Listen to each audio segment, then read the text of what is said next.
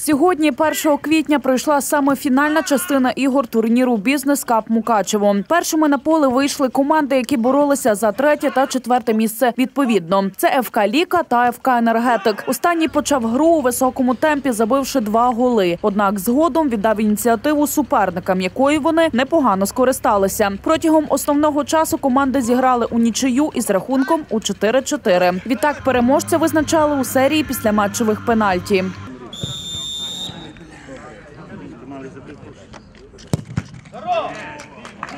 У результаті удачу усміхнулася футбольному клубу Ліка, який посів третє місце.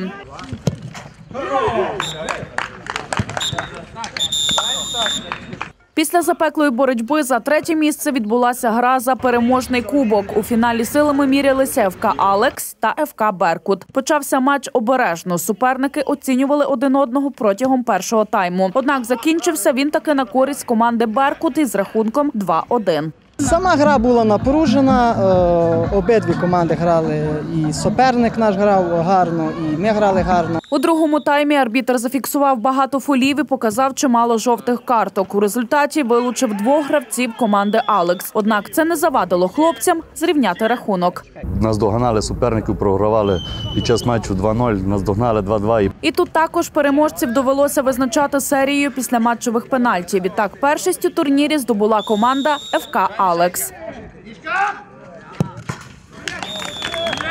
футбольному клубу Алекс!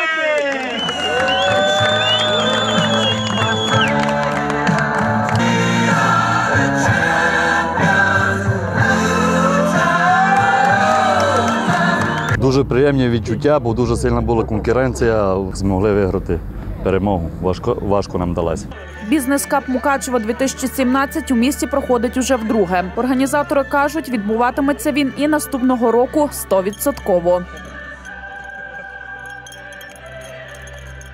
100%. Да, я запевняю, якщо всі будуть здорові, то він буде е, третім, четвертим.